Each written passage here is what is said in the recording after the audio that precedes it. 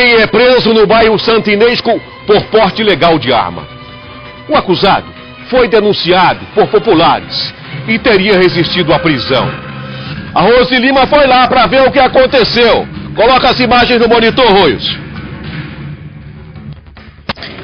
Edivaldo, e este rapaz está sendo conduzido aí pelo, pela polícia e vai ser colocado aqui na escolta. É o Giliardi de Jesus Souza, de 23 anos. Ele foi preso e autuado em flagrante ontem lá no bairro Santa Rita. A história é a seguinte, Edivaldo.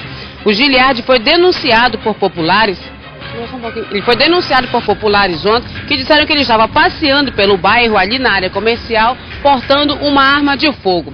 Um sargento, o sargento Rude Oliveira, que mora no bairro, ele abordou o Giliard, chegou a abordar o Giliard e realmente o Giliard estava com uma arma de fogo 38, municiado com seis cartuchos. Ele chegou a resistir à prisão, segundo o sargento, ele ainda chegou a resistir à prisão, mas foi necessário até inclusive o uso da força, mas ele foi conduzido até aqui à delegacia de flagrantes e agora vai ser encaminhado até o presídio Francisco de Oliveira Conde, ao Giliardi de Jesus Souza, de 23 anos, lá do bairro Santa Inês.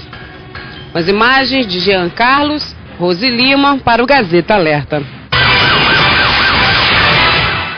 E segundo informações da polícia, o rapaz preso por arma seria irmão de um homem que foi assassinado no último final de semana no bairro Recanto dos Buritis. Testemunhas afirmam que o rapaz propagava que iria se vingar ou iria vingar a morte do irmão.